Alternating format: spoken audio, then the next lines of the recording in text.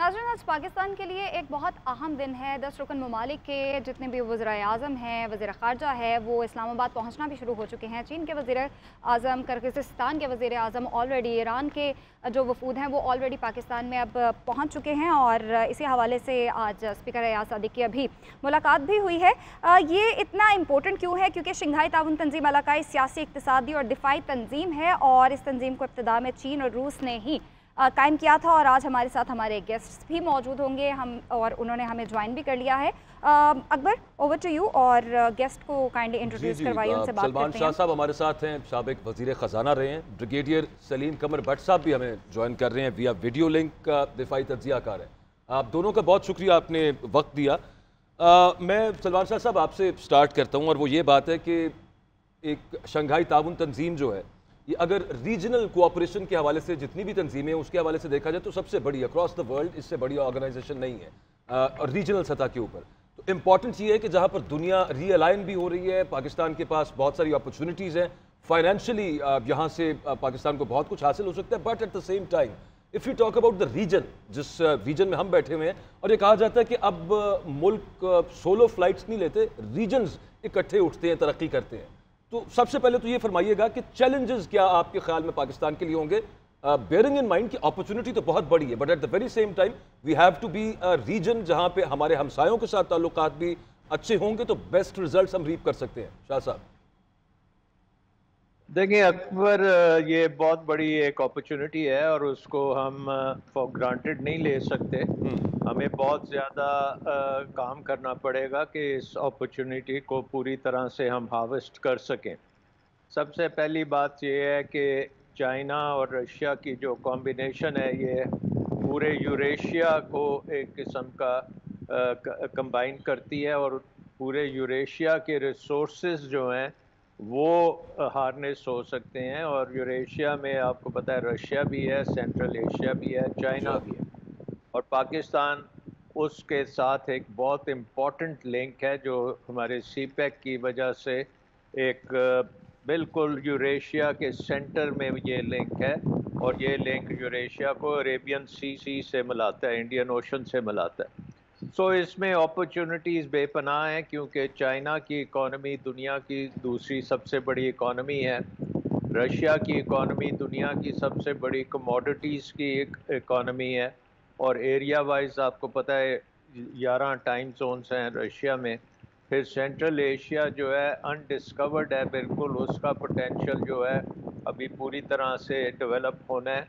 और ये दुनिया का लास्ट फ्रंटियर है इन अ वे फॉर डेवलपमेंट तो पाकिस्तान की बड़ी खुशकस्मती है कि फाइनली पाकिस्तान की जोग्राफिक लोकेशन जो है वो अब आ गई है मैदान में हम्म। और इसमें अगर ये हम एक कॉन्डुएट बनते हैं टू एससीओ और इसके साथ पूरी दुनिया के साथ क्योंकि हमारे अमेरिका और यूरोप के साथ बड़े अच्छे तल्लुक़ात हैं तो पाकिस्तान के पास बहुत बड़ी अपॉर्चुनिटी है कि ना सिर्फ़ पूरी तरह से एस सी ओ से इस दफ़ा करे अफ़गानिस्तान नहीं ब्रिज भी डिप्टी प्राइम मिनिस्टर से दो रोज़ पहले जब वहाँ पे एक वॉक की just to show that Pakistan is safe and secure for all the guests to come तो वहाँ पे सहाफ़ियों ने सवाल पूछा कि अफ़गानिस्तान को इस दफ़ा इनवाइट क्यों नहीं किया? उनका एक तो स्टेटस जो है वो परमानेंट मेंबर का नहीं है ऑब्जर्वर का है पिछली दफ़ा और इस दफ़ा है भी नहीं।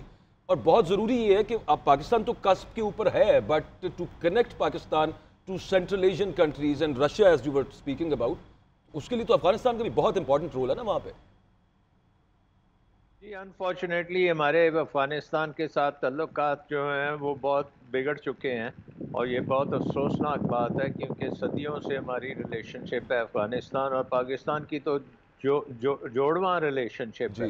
और गंदारा सिविलाइजेशन से पहले की ये सिविलाइजेशन है और उसके बाद फिर आपने देखा कि जितने भी हमारे इस्लामिक सुल्तान थे या जितने भी हमारे ख़त्े में इंदस वैली में जो इस्लाम आया था वो अफ़गानिस्तान पाकिस्तान में इकट्ठे आया था हम्म। और ये तो बड़ी बदकिस्मती है कि हमारे दुश्मनों ने हमें आपस में झगड़ा कराया हुआ है। अल्टीमेटली पाकिस्तान और अफ़गानिस्तान जो हैं ये बड़े क्लोजली मिल के चलेंगे फिर ही इस खत्े को फ़ायदा होगा। सो आई थिंक कि ये एक टेम्पररी फ़ेज़ है कि अफ़गानिस्तान को नहीं बुलाया। अफ़गानिस्तान बड़ा सलमान शाह साहब ज़रा हमारे साथ रहे हम गुफ्तु को आगे बढ़ाते हैं। हमारे दूसरे guest brigadier retired Salim Qamar Bhatt साहब ने भी हमें ज्वाइन कर लिया है। ब्रिगेडियर साहब सबसे पहले मैं आपसे यही पूछना चाहूँगी कि एस सी ओ इजलास पहली बार पाकिस्तान में हो रहा है। कितना अहमियत का हामिल है ये इजलास पाकिस्तान के लिए? और आगे पाकिस्तान को इससे आपको क्या लगता है क्या क्या फ़ायदा हो सकता है इस रीजन में? शुक्रिया। Thank you so much for inviting me obviously एक डिप्लोमेटिक एडवांटेज होता है एक बड़ा एजाज होता है किसी मुल्क के लिए। थर्टीन कंट्रीज़ के डेलीगेशन को जिसमें हेड ऑफ़ गवर्नमेंट हो उनको होस्ट करना। हम्म। और रीजनल अलायंस आपको पता है दुनिया में सबसे बड़ा जो रीजनल अलायंस है वो एस है शंघाई कोऑपरेशन ऑर्गेनाइजेशन जिसके दस परमानेंट मेंबर्स हैं हम्म। जिसमें से पाकिस्तान एक है और इसकी आपको जो ऑर्डर मिला है होस्ट करने का इससे पहले आपको पता है कि 2019 में किर्गिस्तान में हुआ 21 में ये ताजिकिस्तान में हुआ फिर उज्बेकिस्तान में हुआ और इसी साल 2024 में मई में आपको पता है उज्बेकिस्तान ने हेड ऑफ़ स्टेट्स का समिट किया था और अब पाकिस्तान को बारी मिली है इसको होस्ट करने की। हम्म। तो एक मेंबर स्टेट होने के हैसियत से पाकिस्तान के लिए बहुत अच्छा मौका है कि पाकिस्तान के जो अपने मसाइल है सिक्योरिटी रिलेटेड इकोनॉमी रिलेटेड उनको मल्टा मल्टाइलेक्ट्रल डायलॉग में डिस्कस करे आने वाले लोगों के साथ। तो ये एक अपॉर्चुनिटी है आपको पता है इसका जो थीम है इस समिट का हर समिट का डिफरेंट थीम होता है।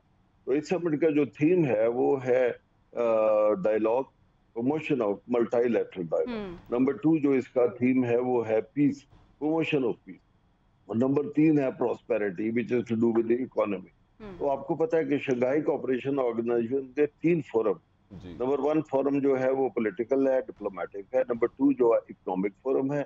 और नंबर तीन जो है इसका डिफेंस एंड सिक्योरिटी फोरम तो जब हेड ऑफ़ गवर्नमेंट इकट्ठे होते हैं तो ये तीनों फोरम्स जो हैं ये रिप्रेजेंट होते हैं और इनके साथ इनके technocrat specialist concern ministers bureaucrats वो सारी टीमें आती हैं हम्म। तो साइड लाइन्स के ऊपर टेक्नोक्रेट्स भी आपस में मीटिंग करते हैं और जो तमाम हमारे कॉमन मसाइल हैं उसमें बातचीत होती है तो ये एक बहुत बड़ा मौका है कि जिससे पाकिस्तान के अपने और बाकी मेंबर कंट्रीज़ के जितने मसाइल हैं बायोलेटरल डिस्प्यूट को यहाँ पे बिल्कुल सामने नहीं लाया जाता ये इसके चार्टर में शामिल है कि बायोलेटरल डिस्प्यूट जो है अगर आपने उसको टच भी करना है हम्म। तो मल्टी नेशनल फोरम या उस, उसी उसी लेवल पे रह के करना है ताकि जो इसका जो चार्टर है वो जो है अडरमाइन हम्म। तो ये बात जहन में रखनी चाहिए कि ये सेंसिटिविटी है जैसे इंडिया पाकिस्तान है एक छोटा सा प्राइम मिनिस्टर नहीं आ रहे जो उनको आना चाहिए था मोदी साहब को आना चाहिए था उन्होंने अपने फॉरन मिनिस्टर को भेजा जो आ जाएँगे एक हम्म। रात के लिए। तो वो आप देख लेंगे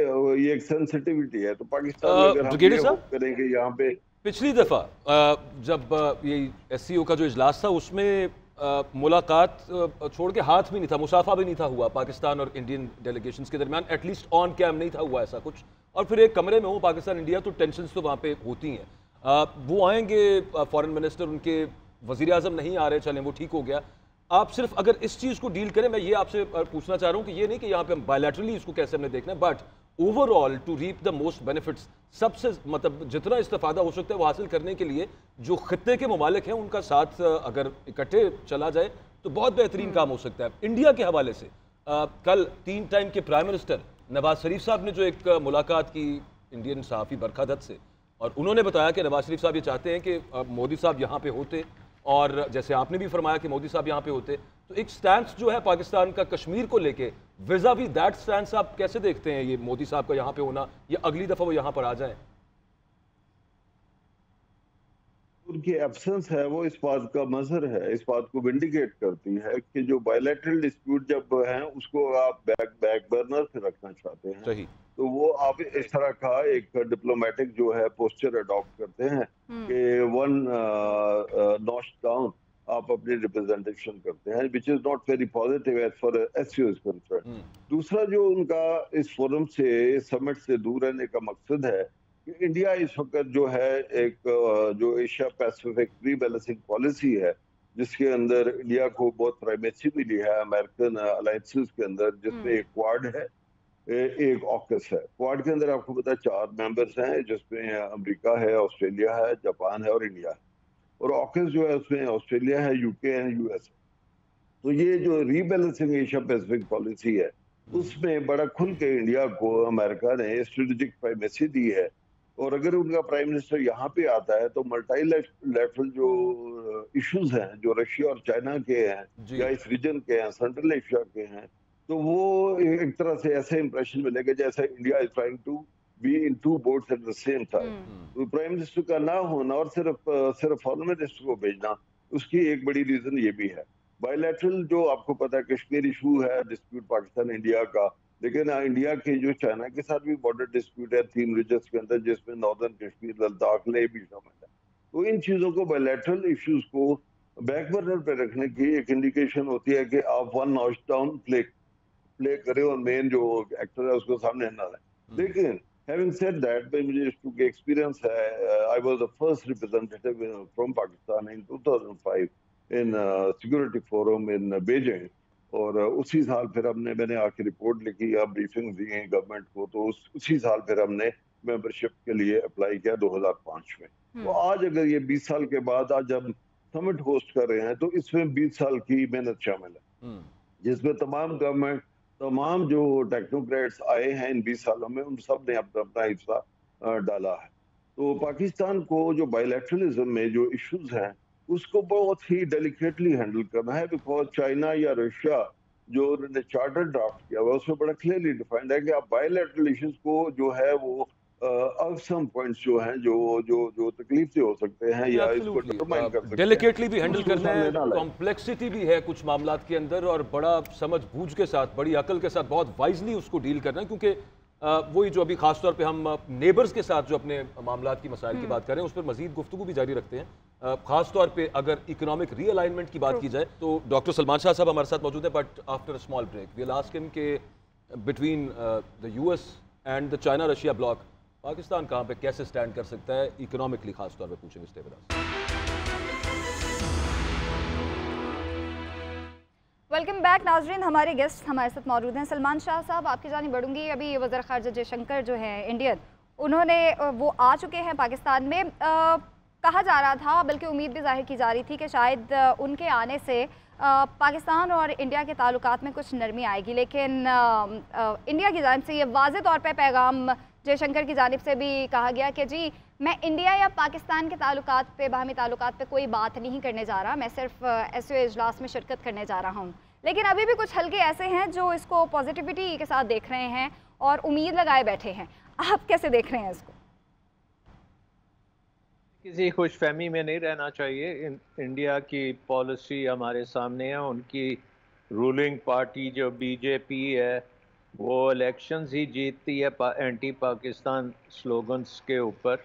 और एक बड़ी लंबी हिस्ट्री है उस पार्टी की हॉस्टिलिटी टुवर्ड्स पाकिस्तान और उसके जो एक्शंस हैं मुसलमानों के साथ हिंदुस्तान में और कश्मीर में जो काम कर रहे हैं हम्म। तो अभी तो उनके साथ अगर बातचीत भी होगी तो वो इट विल टेक एजेस के कोई डायलॉग भी शुरू होने में ही बहुत टाइम हम्म। लगेगा और उसके बाद फिर वो डायलॉग पता नहीं कितने अरसे चलेगा सो आई थिंक इस पे हमें कोई भरोसा नहीं होना चाहिए कि कोई ब्रेक थ्रू हो सकता है ना कोई उम्मीद रखनी चाहिए बट हैविंग सेड दैट उसके बाद दुनिया बहुत बड़ी है एससीओ बहुत बड़ी है, उसमें दस मुल्क हैं जो हमारे नेबर्स हैं। उन तमाम के साथ हमारे बड़े ज़बरदस्त रिलेशनशिप हो सकती है इकोनॉमिक भी पॉलिटिकली भी सोशली भी टूरिज़्म हो सकता है आना जाना हो सकता है, क्योंकि हमारी लोकेशन जो है जोग्राफिकली वो आइडियल है इसके लिए। वो बन, ऐसे है कि जैसे पाकिस्तान बना ही इस काम के लिए। सो मेन चीज़ ये है कि पाकिस्तान के पास बहुत बड़े अपॉर्चुनिटीज़ हैं बट इशू सारे चैलेंजेस के हैं कि क्या हम ये रोल अदा कर सकते हैं नंबर वन अगर हम अब देखें कि अमेरिका और चीन का एक किस्म की कंपटीशन है बहुत हम्म। ज़्यादा कंपटीशन मैं हम्म। ये नहीं कहूँगा कि वो कोल्ड वॉर है बट कंपटीशन बहुत ज़्यादा है वो आपस में अभी भी बहुत ज़्यादा ट्रेड करते हैं तो आई थिंक कि पाकिस्तान एक बिल्कुल बड़ी अच्छी जगह बन सकती है कि अमेरिका चीन के कम अज़ कम चीन और सेंट्रल एशिया के साथ कनेक्टिविटी पाकिस्तान की को फ़ायदा अमेरिका को भी हो सकता है in terms of economic cooperation और इन्वेस्टमेंट और एक्सपोर्ट्स इंपोर्ट्स वगैरह लेकिन सर अमेरिका की जान। से बड़े सैंक्शंस लगाए गए हैं भारत पे भी हैं और अगर ईरान पे देखा जाए जितने भी यूएस एलिज हैं उन पे बड़े सैंक्शंस लगे हुए हैं। हाँ लेकिन वो सैंक्शंस चाइना के साथ ट्रेड करने पे नहीं लगे हुए। वो और वजूहत से लगे हुए हैं। ईरान के ऊपर जो सैंक्शंस हैं वो उनके बायलैटरल रिलेशनशिप पे हैं। हम्म। लेकिन वो चाइना के साथ खुद ट्रेड करते हैं।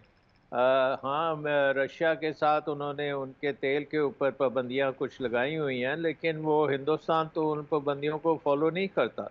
कहने का मकसद ये है कि पाकिस्तान को ये सारे चैलेंजेस मीट करने पड़ेंगे और अपना हिस्टोरिक रिलेशनशिप जो अमेरिका के साथ है उसका बेनिफिट उठा के एससीओ के साथ जो लिंक है उसको कामयाब बनाया जा जा सकता है। सो एक ये अपॉर्चुनिटी है। हम्म। दूसरी चीज़ ये है कि पाकिस्तान में जो हम इन्वेस्टमेंट पूरी दुनिया से मांगते हैं तो अब जो पाकिस्तान में इन्वेस्ट करेगा उसकी नज़र में ये भी होना चाहिए कि पाकिस्तान में अगर इन्वेस्ट करोगे तो पूरी एससीओ की मार्केट आपको मिलेगी। ये ना सिर्फ़ पाकिस्तान की मार्केट बट चाइना की मार्केट रशिया की मार्केट सेंट्रल एशिया की मार्केट्स उस तक रसाई होगी। सो पाकिस्तान एक बहुत बड़ा अट्रैक्टिव इन्वेस्टमेंट डेस्टिनेशन बन सकता है। तो नहीं बात तो बिल्कुल दुरुस्त है। आप उसमें साथ ये भी तो है ना डॉक्टर साहब कि हम एक्सपोर्ट कर कह सकते हैं? ये बहुत इंपॉर्टेंट है। But hmm. खैर एनीवेज इसको कंटिन्यू करते हैं इस डिस्कशन को।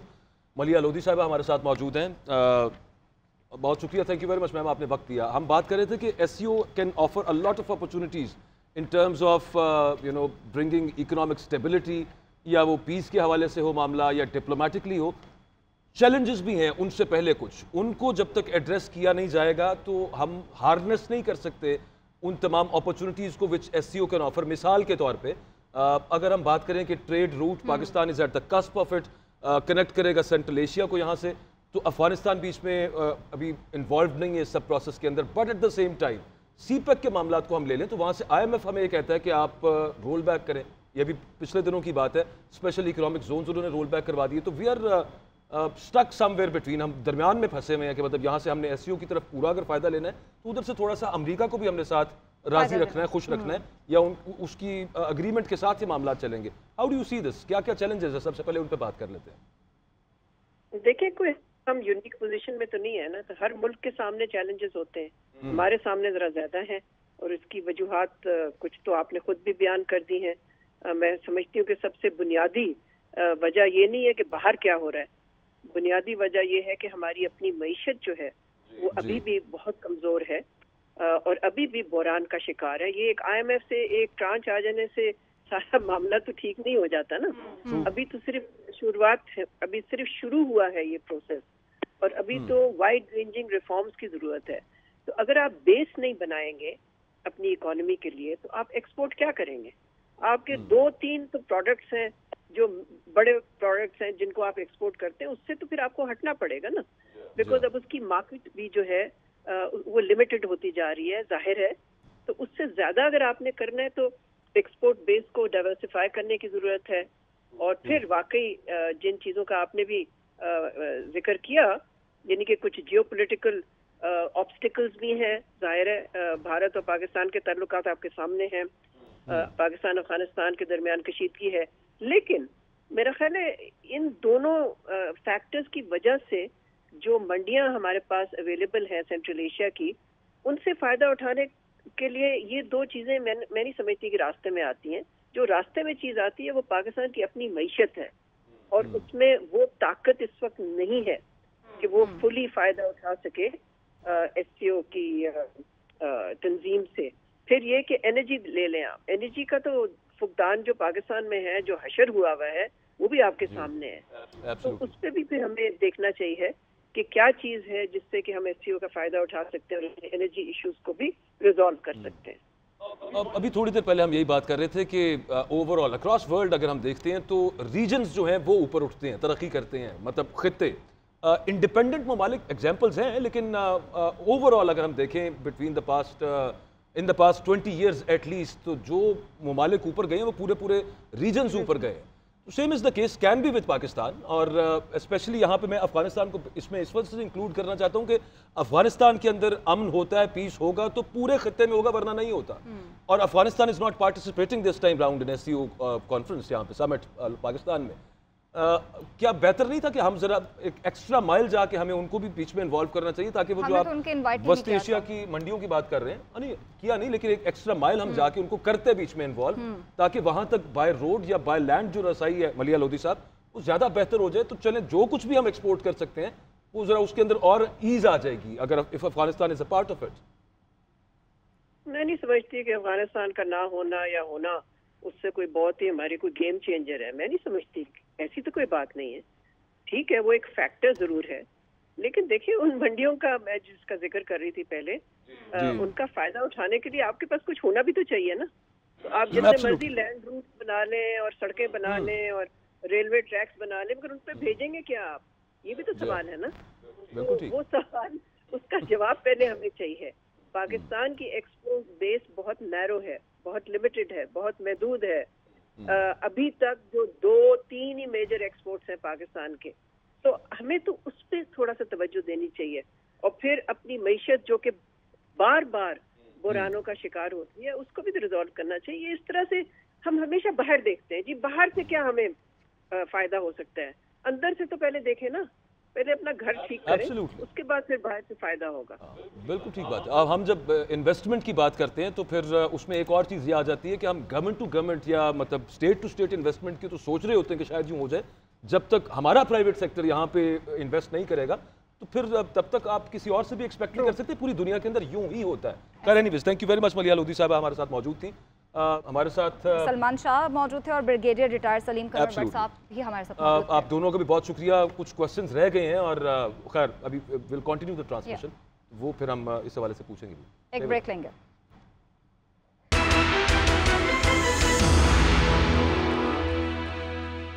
वेलकम बैक नाजरीन। एसीओ कॉन्फ्रेंस में शिरकत के लिए गैर मुल्की सरबराहान हुकूमत और मंदबीन की आमद का सिलसिला जारी है और पाकिस्तान के लिए बहुत अहमियत का हामिल है। हमारे गेस्ट ने अकबर हमें ज्वाइन कर लिया है। Over to you doctor Abid करूम कयूम सुलहरी साहब हमारे साथ मौजूद हैं माहिर मीशियात हैं और जॉर्ज सलीम साहब सबक सेक्रेटरी खारजा रहे हैं। दोनों बहुत इंपॉर्टेंट एरियाज़ क्योंकि डिप्लोमेसी इससे पाकिस्तान को फ़ायदे हो सकते हैं डिप्लोमेसी के रेल में और हम्म। दूसरा इकोनॉमी में। तो आबिद कयूम सुलहरी साहब मैं आपका आर्टिकल भी पढ़ रहा था वो जो एक अखबार में आपने लिखा वेरी इंसाइटफुल और उसमें कुछ वही सवाल आपने भी उठाए जो हम सबके जहन में आते हैं कि अपॉर्चुनिटीज़ तो बहुत सारी हैं हम्म। जो ऑफ़र कर रही है एस समिट जो पाकिस्तान में हो रहा है but at the very same time जो पाकिस्तान के अपने इंटरनल या एक्सटर्नल चैलेंजेस हैं वो अपनी जगह पर मौजूद हैं मतलब ट्रेड हम बूस्ट कर लें अभी थोड़ी देर पहले हम यही बात कर रहे थे कि अगर रीजनल जो चले जो ऑर्गेनाइजेशन हम्म। में जो मेंबर कंट्रीज़ हैं उनके साथ बूस्ट करें तो एक्सपोर्ट क्या करें एक चीज़ और फिर दूसरा यहाँ पे ये कि हम यहाँ पे भी बिटवीन चाइना रशिया ब्लॉक और फिर उधर से दूसरी तरफ़ अमेरिका उसकी रीअलाइनमेंट को जहन में रखते हुए उसको किस तरह से बैलेंस किस तरह से करें? What do you suggest Suleri साहब?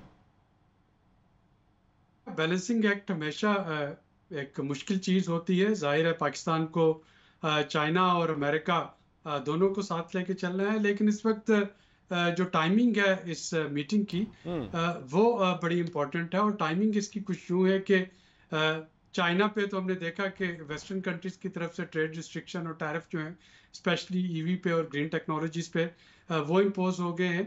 और रशिया, ईरान और अफ़गानिस्तान, जिसको किस मीटिंग के लिए इनवाइट नहीं किया गया, वो तीनों ममालिक जो हैं, वो वेस्टर्न सेंक्शंस का शिकार हैं। तो यहाँ पे ये हम्म। चार मुल्क जो है कोशिश कर रहे हैं ज़ाहिर और कामयाब तो नहीं होंगे लेकिन एक पहला स्टेप जो है वो ये है कि अपनी इकोनॉमीज हाँ। को डॉलर से डीलिंग कैसे किया जा सके हाँ। और पाकिस्तान के लिए ये इसलिए इम्पोर्टेंट है कि हमारा जो ट्रेड डेफिसिट है या हमारा जो करंट अकाउंट डेफिसिट है वो इसी डॉलर के ना होने की वजह से है हमने ऑलरेडी ईरान के साथ एक बार्टर ट्रेड जो है एग्रीमेंट वो किया तो अब हमें जो थर्ड करेंसी में तजारत करनी है और कल ही चाइनीज़ प्रीमियर के साथ एक करेंसी स्वैप एग्रीमेंट भी साइन हुआ है।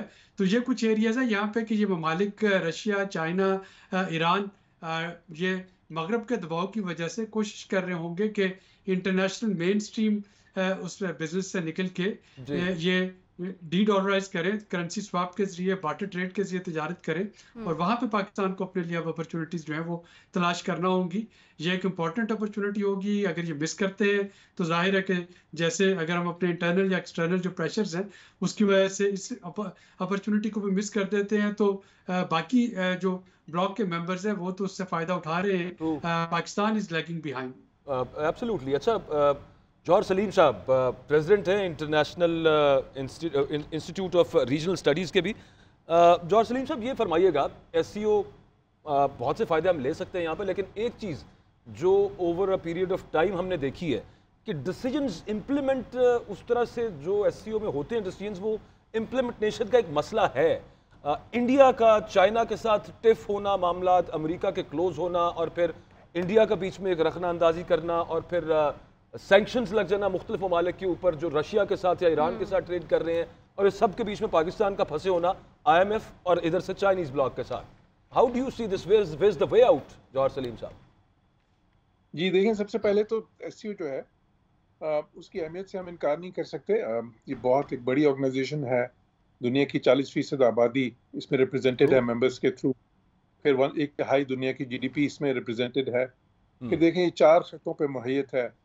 इसमें सेंट्रल एशिया भी है साउथ एशिया भी है ईस्ट एशिया भी है और फिर यूरेशिया भी है तो हम्म। यूरोप तक भी जाती है आ, वो सब कुछ है दस बहुत ही अहम मुल्क हैं इसमें आ, ये आपने सही कहा कि देखिए कुछ जो हैं बिकॉज़ एक ये इंटर रीजनल है इंटर गवर्नमेंटल भी है लेकिन इंटर रीजनल ऑर्गेनाइजेशन है जो किसी एक रीजन की नहीं है हम्म। तो ये उस तरह की ऑर्गेनाइजेशन नहीं है जैसा कि नाफ्टा है या आसियान है या ईयू है जो फोकस्ड होती हैं ऑर्गेनाइजेशन होती हैं और इंटर उनका फोकस एक चीज़ पे होता है मसलन इकोनॉमी हम्म। या कोई और ऑर्गेनाइजेशन है मसलन नेटो टाइप है हम्म। जिनका टोटल फोकस डिफेंस पे होता है वो भी हम्म। बहुत क्लोज निट होती हैं ये जो है ये सुपर रीजनल ऑर्गेनाइजेशन है थोड़ी सी लूजली निट भी है लेकिन साथ ही साथ देखें इसका एक ऑल्टरनेट विजन देती है ये जो आपने मसाइल बताए हैं ना कि ये वो अमेरिका का इंडिया के साथ और चाइना की कंटेनमेंट और ये सारा कुछ तो एक्चुअली एस जो है एक ऑल्टरनेट विजन देती है इंटरनेशनल रिलेशंस का इसकी जो लास्ट समिट हुई थी जो कि आस्ताना में हुई थी अभी जुलाई में जो कि head of heads of state level summit है। इसकी दो है ना लेवल्स एक हेड्स ऑफ़ स्टेट जो वहाँ पे हुई थी और जो हेड्स ऑफ़ गवर्नमेंट है जो यहाँ पे हो रही है। तो उसमें ज़रा स्ट्रेटेजिक और जो सिक्योरिटी के और इस तरह के जो है वो ज़्यादा पॉलिटिकल मसाइल पे ज़्यादा होता है। और ये वाली जो है ये ट्रेड और इकोनॉमी पे ज़्यादा फोकस करती है। हाँ। हम्म। तो वो जो अल्टरनेट विजन है वो क्या है? उसमें यह है कि दुनिया को उस तरफ़ लेके जाना है कि जहाँ पे म्यूचुअल रिस्पेक्ट हो इक्वालिटी ऑफ़ स्टेट्स हो कॉन्फ्लिक्ट्स हम्म। जो है उनकी रेजोल्यूशन जो है वो यूनाइटेड नेशंस बेहतर तरीके से कर सके रिफॉर्म्स के थ्रू किसी एक की डोमिनेशन ना हो माइट इज़ राइट ना हो इस तरह का। तो अब हम्म। ये जो अल्टरनेट विजन है ये एक, एक देखें बड़ा एक है लॉन्ग टर्म विजन है। तो उसके लिए वक्त लगता है। In the shorter term in the medium term जो आप कनेक्टिविटी की इसमें जो है मिसाल के तौर पे कनेक्टिविटी का विजन क्या है? इसमें बहुत से मुल्क जो हैं वो लैंड लॉक कंट्रीज़ हैं ये सारे जो सेंट्रल एशियन रिपब्लिक्स हैं सब लैंड हम्म। लॉक्ड हैं अच्छा इसी तरह वेस्टर्न चाइना है वो भी लैंड लॉक्ड है हम्म। अच्छा फिर रशिया के कुछ इलाके भी इस तरह हैं तो उनके लिए पाकिस्तान जो है वो बहुत ही ज़्यादा एक जो है ना जिस तरह पाकिस्तान की जो कोस्ट लाइन है इकवादर हम्म। का पोर्ट है हमारी जो पूरी और हमने देखे पूरा जो इंफ्रास्ट्रक्चर डेवलप किया है सी पैक है जिसपे हमने इतनी बड़ी इन्वेस्टमेंट की है अगर वो कनेक्टिविटी से हम फ़ायदा नहीं उठा सकें तो फिर वो इन्वेस्टमेंट हमारी जो सी मुकम्मल तौर पे कामयाब तो नहीं होगी ना हम्म। तो इसलिए एस के क्योंकि इंटरेस्ट हमारे से ये अलाई करते हैं अलाइन करते हैं राधे इस हमारे इंटरेस्ट के साथ भी लेकिन ये जो है इसमें और इसमें देखिए होता क्या कॉन्फ्रेंस में इसके जो इलामिया होता है ना अगर आप पिछली जो समिट हुई है उसका इलामिया देखें तो उसमें हम्म। बहुत से मुल्क जो है रुकन ममालिक तजावीज़ देते हैं उसके लिए फिर मीटिंग्स अलग से होती हैं हम्म। इस इसमें ये जो अभी समिट हो रही है इससे पहले सीनियर ऑफिसर्स मीटिंग हुई है मिनिस्टेरियल लेवल मीटिंग्स हुई हैं इसकी सारी तैयारी के लिए। उसमें बहुत से फैसले लिए जाते हैं। इवन अलामिया का एक ड्राफ्ट भी पहले तैयार किया जाता है। फिर उस पर सारे जो सरबराहान होते हैं वो आके उस पर एक डिस्कशन करते हैं। तो उसमें आप बहुत सी तजावीज़ जो उनसी हैं वो पहले से पे, जो पेश की जाती हैं उस पर फिर सरबराहान ये डिसाइड करते हैं कि कौन सी तजवीज़ जो है उस पर फौरी अमल होना है किस पे बाद में। लेकिन ये नॉर्मल है इस तरह की जो बड़ी बड़ी ऑर्गेनाइजेशन होती हैं उनको इस्टेब्लिश करने में उनको स्ट्रेंथन होने में उनको वाइटलाइज होने में वक्त लगता है। अच्छा जौहर साहब जौहर साहब मैं आपसे ट्रेड के हवाले से कुछ पूछना चाहूँगी कि जोग्राफियाई एतबार से पाकिस्तान जिस जगह पे है अब Afghanistan is not the part of this summit right तो आपको नहीं लगता कि ट्रेड के लिए अफ़गानिस्तान की हमें ज़रूरत पड़ सकती है? और अगर देखा जाए कि ख़त्े में इसकाम की बात की जाए तो इस पूरे रीजन में इसकाम तभी आएगा जब इस खत्े का जितने भी ममालिक हैं वो स्टेबल हों। बिल्कुल आपने बहुत अच्छी बात की देखिए अफ़गानिस्तान जो है ना वो तो ज़ाहिर है कि एक लिंच पिन की हैसियत रखता है इसलिए कि अगर हम सेंट्रल एशिया की कनेक्टिविटी की बात करें पाकिस्तान के थ्रू तो वो अफ़गानिस्तान के बगैर तो नहीं हो सकती इसी तरह अफ़गानिस्तान में अगर स्टेबिलिटी नहीं होगी तो इससे हम्म। इंस्टेबिलिटी बाकी सारे मुल्कों में भी स्पिल ओवर होगी तीसरा मसला ये जो है टेररिज्म का हम्म। जो अफ़गानिस्तान से वक्त एमिनेट कर रहा है और वो देखें ये जो एस का है स्ट्रक्चर इसमें रैट्स एक है रीजनल एंटी टेररिज्म स्ट्रक्चर के नाम से और वो बहुत अहम मैकेनिज्म है। बल्कि जब ये हम्म। शुरू हुई थी तो उसमें टेररिज्म को बड़ी कलीदी अहमियत हासिल थी। अब अफ़गानिस्तान से ये जो मसाइल हो रहे हैं उसका ये जो है ना इंफरादी तौर पे तो मुल्क कोशिश कर रहे हैं बायोलेटरली अफ़गानिस्तान पे प्रेशर डाल रहे हैं या उनको मनवाने की कोशिश कर रहे हैं। वो इतनी ज़्यादा कामयाब नहीं हुई कोशिशें। तो अब जिस चीज़ की ज़रूरत है वो है कि एक रीजनल अप्रोच की जाए जिसमें कि ये सारे मुल्क जो हैं जो नेबरहुड है सारा वो मिल के जो है ना एक कोऑर्डिनेटेड पॉलिसी के थ्रू अफ़गानिस्तान से बातचीत भी करे और उनको मनवाए भी हम्म। और वहाँ पे कोशिश करें कि वहाँ पे ज़्यादा जो देखें स्टेबिलिटी और जो होती है कनेक्टिविटी उनका आपस में चोली दामन का साथ है एक चीज़ कायम करेंगे तो दूसरी को वो हेल्प करेगी हम्म। तो इसलिए एस का प्लेटफॉर्म उसलिए भी बहुत अच्छा है कि अफ़गानिस्तान के हवाले से वहाँ पे टेररिज्म वहाँ से जो एमिनेट हो रही है वहाँ से जो दूसरे मुल्कों में अनफॉर्चुनेटली स्पेल ओवर हो रही है उसको रोकने के लिए वहाँ पे स्टेबिलिटी कायम करने के लिए वहाँ पे सिक्योरिटी एम्बियंस इम्प्रूव करने के लिए और उसको ये कनेक्टिविटी के जो सारा विजन है उसका हिस्सा बनाने के लिए एक रीजनल अप्रोच एक कोऑर्डिनेटेड अप्रोच जो एस की हो उसके थ्रू ये मिलकर कोशिश करें मुल्क एब्सोल्युटली uh, बड़ा इंपॉर्टेंट पिछले साल वो कॉन्फ्रेंस थी जब समिट था उसका तो उसमें ये रीजनल एंटी टेररिज्म स्ट्रक्चर की बात हुई थी रैट्स और आयरनी यहाँ पर ये है कि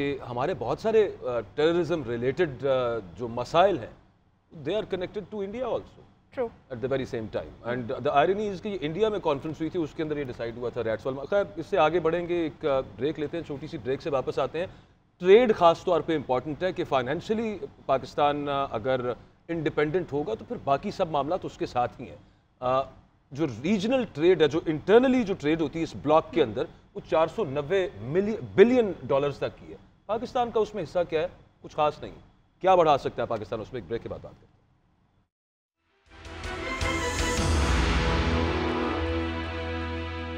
ऐसे इजलास के हवाले से बात करें, हमारे जो गेस्ट हैं हमारे साथ हैं, जौहर साहब एक सवाल मेरे जहन में आ रहा है कि ये जो पाकिस्तान है, पाकिस्तान में इस एस इजलास का होना पूरी दुनिया में मैसेज क्या भेजेगा? एक तो सिक्योरिटी एतबार से कि पाकिस्तान जो है वो सेफ़ कंट्री है और इकनॉमिक हवाले से भी कोई मैसेज पहुँच सकता है पूरी दुनिया में और क्या इंफ्रास्ट्रक्चर के हवाले से क्या क्या बेनिफिट्स मिल सकते हैं? जी, बिल्कुल देखें, ये एसयू की कॉन्फ्रेंस पाकिस्तान में पहली बार हो रही है। ऑल दो कि हम देखें देखें दो हज़ार सत्रह से इसके मेंबर हैं और ये ऑर्गेनाइजेशन तो 2001 से बनी है। और एक बहुत बड़ी ऑर्गेनाइजेशन है जिसमें जैसे मैंने कहा 40 फ़ीसद दुनिया की आबादी जो है उसके मुल्क रिप्रेजेंटेड हैं। तो उसको पाकिस्तान में होना एक खुश आइंद है बिकॉज़ उसके दुनिया की तुम जो है नज़रें आपकी तरफ़ आती हैं। इसमें ये सारे लीडरान जो यहाँ पे आए हैं इस वक्त जिसमें चीन के रूस के ईरान के और सेंट्रल एशियन रिपब्लिक्स के इंडिया से जयशंकर भी। तो, तो ज़ाहिर है उससे एकदम आपको बहुत मौका मिलता है अपना ये जो है ना शोकेस करने का।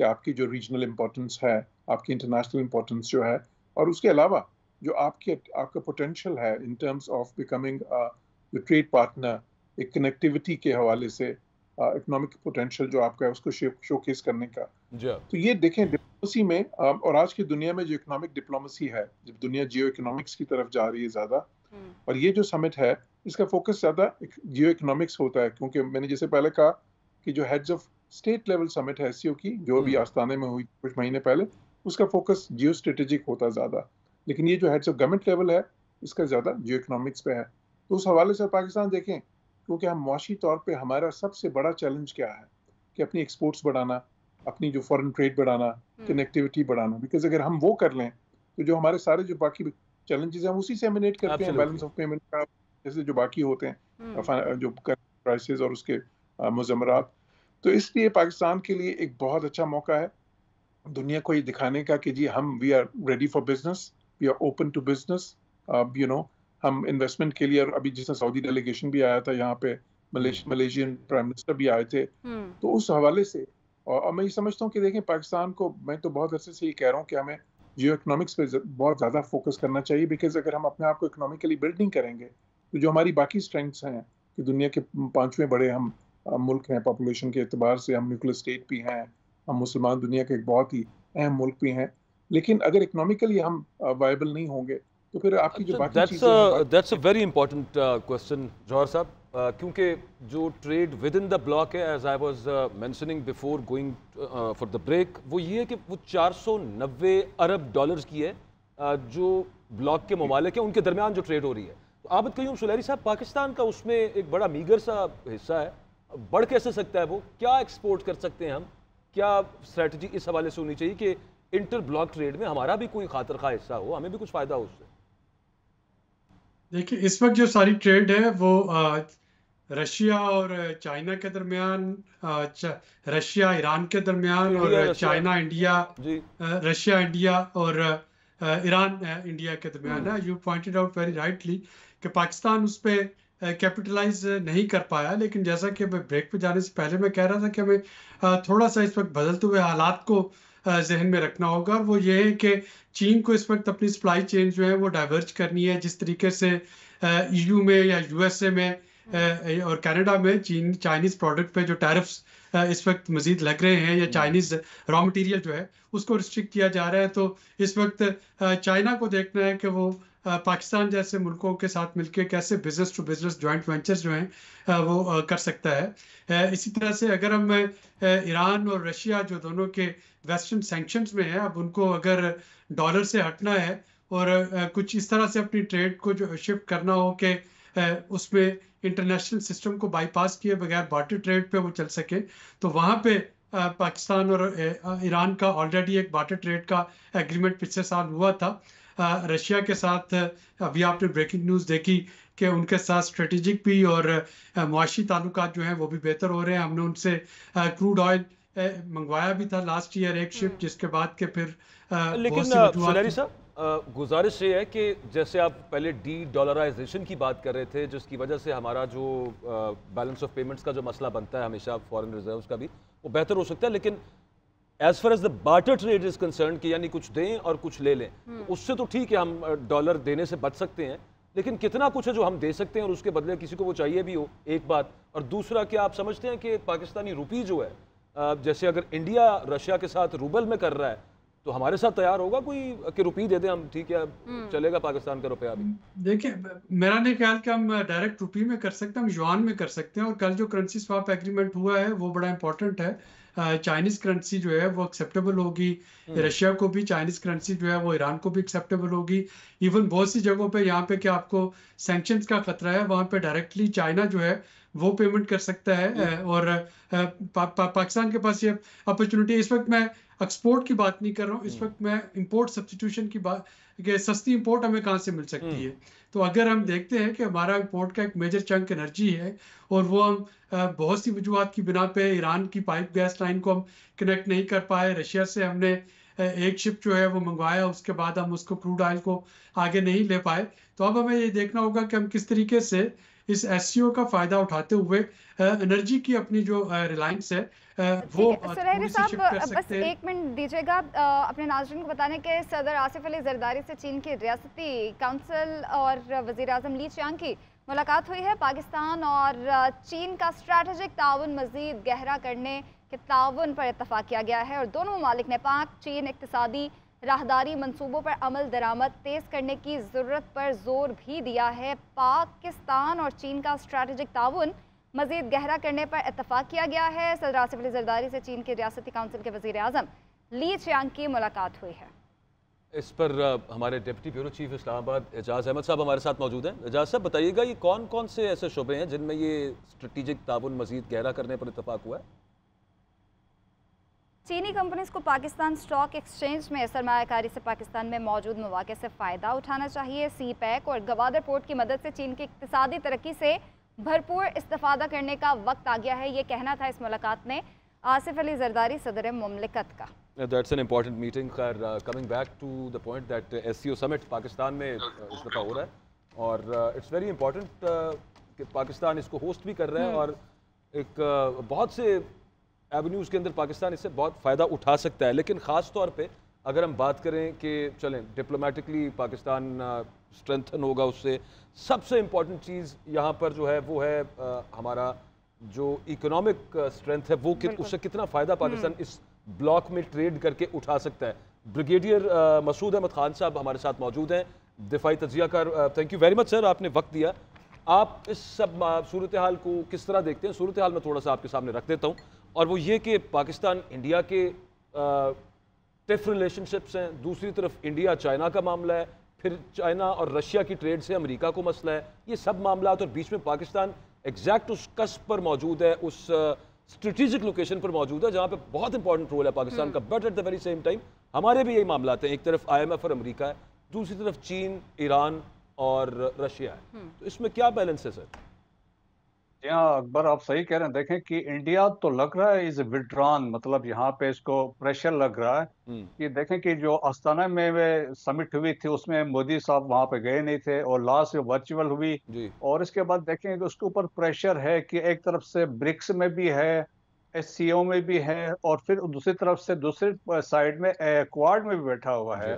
सो अमेरिकन इंटरेस्ट को भी प्रोटेक्ट कर रहा है। अमेरिकन वेस्ट तो इसको देख रहा है एससीओ को एज ए अलायंस अगेंस्ट जो समझ ले यूएसए एंड वेस्ट के इंटरेस्ट के तौर पे तो वहाँ हम्म। पे बहुत सिकेप्टिज्म है as far as this S C O is concern तो दैट्स वाई एक वो that is one factor secondly देखें यहाँ पे चाइना के प्रेजेंस है तो हमें पता है कि इंडिया चाइना के जो इश्यूज़ है कन्फ्लिक्ट है गलवान में अभी रिसेंटली चाइना ने उनको मारा। फिर पाकिस्तान के साथ भी है और कोर इश्यू है that is Jammu and Kashmir है। टेररिज्म इंडिया पाकिस्तान में करवा रहा है। तो वो फैक्टर्स हैं। लेकिन वो इस दैट्स वाई उनमें एक यकीनन वो एक रिलेक्टेंस हमने देखी है इंडिया में कि वो समझता है कि यहाँ पे आके वो इन दोनों के दरमियान में आके फंस गया है। तो वो उनकी कोशिश जो है जनरली मैं अगर कह सकता हूँ कि उसकी प्रायोरिटी जो है अभी एक डिप्लोमेटिकली एक इंप्रेशन तो उसने दिया हुआ है कि एक इस अलायंस में बैठा हुआ है हम्म। लेकिन जो इसका इंटरेस्ट वेस्ट और यूनाइटेड स्टेट्स के साथ है। अच्छा वो है पिछली दफ़ा की जैसे आपने बात की वो वर्चुअल था। अच्छा उसमें भी एक एक्सचेंज ऑफ़ हार्श वर्ड्स था between Pakistani and Indian foreign ministers उससे पहले अगर अस्ताना की बात करें वहाँ पर उन्होंने मतलब हैंडशेक भी नहीं था कैमरा के सामने नहीं हुआ एटलीस्ट और वो एक आप सही इंडिया जो तासुर देता है कि भाई हम नहीं आपके साथ करें तो वहाँ पे कैसे ट्रेड करना है? और उसके बगैर एक छोटी सी अर्ज़ करूँ कि पहले भी बात हो रही थी कि रीजन इकट्ठे उठा करते हैं।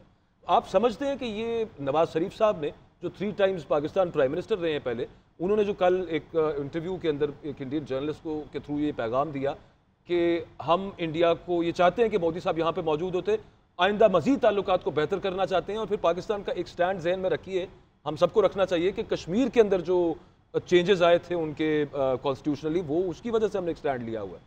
किस तरह से इंडिया के साथ आगे चलाया जाए सर बिल्कुल नवाज़ शरीफ का ये कहना बिल्कुल सही है उनको आना चाहिए था लेकिन देखें कि जनरली जब भी आपने देखा हो कि इंडिया बात करते हैं तो वो कहते हैं जी हमारे लिए पाकिस्तान की कोई इंपॉर्टेंस नहीं है। वो इस इस लाइन को लेते हैं। हम्म। तो वो एक वो फैक्टर है। दूसरा देखें कि पाकिस्तान तो यकीनन चाहता है कि एक और इश्यू है जम्मू एंड कश्मीर का वो एड्रेस हो। और दूसरा जो इंडिया टेररिज्म पाकिस्तान में करवा रहा है थ्रू प्रॉक्सी चाहे वो खैबर पख्तूनख्वा है बलोचिस्तान है हम चाहते हैं वो चीज़ें एड्रेस हो। अब रिसेंट डेवलपमेंट देखें कि यहाँ रीजन में तो भी करवा रहा था। ट्रांस नेशनल डिप्रेशन में भी इन्वॉल्व है जो सिखों को असेसिनेट करा है अक्रॉस द ग्लोब और हाँ जो आज ही जो लेटेस्ट आया है जिसमें जो उनकी पूरी डिप्लोमेटिक टीम जो थी कनाडा ने वहाँ से एक्सपल की है because of their involvement in the assassination of Nijjar में भी थे और बाकी हम्म। लोगों को भी वो थ्रेट कर रहे थे तो इंडिया का एक ग्लोबल एजेंडा भी है रीजनल एजेंडा भी है और साथ ही वो चाहता है कि उसकी हेजमनी जो रीजन में उसकी वो रहे लेकिन मेरे ख्याल में पाकिस्तान के होते हुए ये मुमकिन नहीं हम्म। अच्छा सर, दहशतगर्दी की चूँकि अभी बात हो रही थी और जिस तरह बलूचिस्तान और केपी में दहशतगर्दी उरूज पर है और इंडिया जिस तरह शवाहिद भी मिले हैं कि इंडिया ये दहशत गर्दी करा रहा है और जितनी भी तंजीमें हैं, उनको फंडिंग कर रहा है। सी पैक टारगेट है। एस का पाकिस्तान में मुनद होना क्या मैसेज देता है इंडिया को या पूरे वर्ल्ड को? मेरा ख्याल में देखें कि जो रिसेंट डेवलपमेंट देखें ये इंपॉर्टेंट क्वेश्चन है कि जिस तरीके से चाइनीज़ पे कराची पे अटैक हुआ आप उसको लिंक करें टाइमिंग्स देखें हम्म। और इसी तरह दुखी में जो माइनर्स जो कोल माइनर्स थे वहाँ पे उनके असेसिनेशन हुई हम्म। और बाकी जो खैबर पख्तूनख्वा में जो वाकयात हुए तो इनको कोशिश यही थी कि एससीओ पाकिस्तान में ये इवेंट यहाँ पे ना हो क्योंकि देखें इट्स अ लैंडमार्क इवेंट है पाकिस्तान के लिए बड़ी कामयाबी तस्वर की जा सकती है। इंटरनेशनल कम्युनिटी के अंदर पाकिस्तान की एक अच्छी स्टैंडिंग बन गई है कि पाकिस्तान इस तरह इवेंट्स भी करवा सकता है पाकिस्तान की एक स्टैंडिंग है। तो हमें इंडिया की बिल्कुल कोशिश थी कि ये ना हो तो दैट्स वाई ये रिसेंट एक्टिविटीज़ उन्होंने की वहाँ पे। लेकिन अनफॉर्च देखें कि इंडिया जो है सी पैक जिस तरह आपने कहा सी पैक जब से बना 2015 ऑनवर्ड इंडिया का फोकस रहा है। सी पैक को पुलिस मैन कर रहा है, बाकी हॉस्टाइल एजेंसीज के लिए।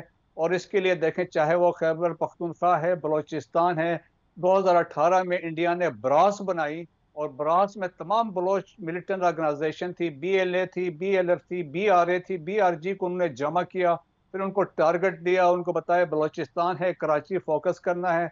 2020 में consortium of this terrorist organisation TTP को इनके साथ मिलवाए जो आप देखें, मजीद ब्रिगेड में जो चेंजेस हमने देखे जो खुदकश हम लोग का जो कंसेप्ट है जो बलोच में पहले कहीं नहीं था ये टीटीपी के आने से हुआ क्योंकि उन्होंने इनको ट्रेन किया और खुद के हमलों में के लिए। तो इसके बाद हमने देखा 2018 में पहला हमला हुआ इसके बाद हमने 2022 में शारी बलोच को भी देखा और रिसेंटली जो लड़की एक पकड़ी गई थी अदिला तो उसने भी कन्फेशन किए हैं।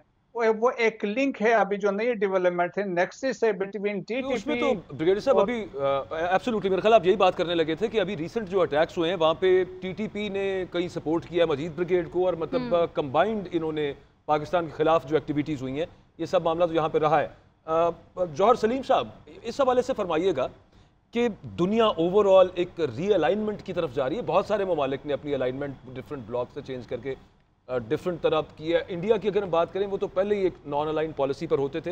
And probably they can afford with heavy heart ही कहना पड़ता है कि वो अफोर्ड कर लेते हैं कि वो कहीं पे भी किसी ब्लॉक में चले जाते हैं और हर तरफ़ वो चाइना से ट्रेड भी कर रहे हैं और अमेरिका की नाराज़ी भी मोल ले रहे हैं रशिया के साथ भी ट्रेड कर रहे हैं। पाकिस्तान का अनफॉर्चुनेटली इतना इंडिपेंडेंट स्टांस नहीं हो सकता।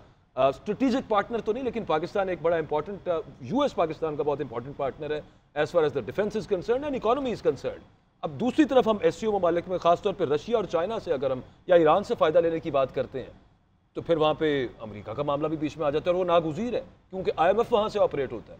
तो ये जो इंडिपेंडेंस पाकिस्तान को चाहिए, ये सबसे पहले तो ये चाहिए होगी, लेकिन वक्ती तौर पर अपनी अलाइनमेंट एग्जैक्टली पाकिस्तान की क्या होनी चाहिए जो है, वही ठीक है, या इसको रीअलाइन करने की ज़रूरत है आपके ख्याल में? जी, देखिए, आपने सही कहा कि इंडिया का जहाँ तक ताल्लुक है तो इंडिया तो वो जो है ना एक तो वो जैसे कहते हैं ना hunting with the hounds and running with the hare वाली बात है कि वो दोनों तरफ़ चलते हैं एंड दे फ़ायदे भी सबसे उठा लेते हैं और इसको वो कहते हैं उन्होंने एक नाम दिया है इसको स्ट्रेटेजिक ऑटोनॉमी का उन्होंने इसको नाम दिया है हम्म। तो वो जो है ना इस इसमें देखें आपके अमेरिका से भी वो सारी ट्रेड भी है उनकी इतनी बड़ी और वो सब फ़ायदे भी उठा रहे हैं एंड पार्ट ऑफ़ द जो so called Indo strategic Indo Pacific strategy है उसका हम्म। भी और इंडिया का उनका जो अमेरिका के एशिया पिवट है उसका भी लेकिन दूसरी तरफ़ उनकी चीन से भी बहुत बड़ी ट्रेड है रशिया से भी बहुत बड़ी ट्रेड है।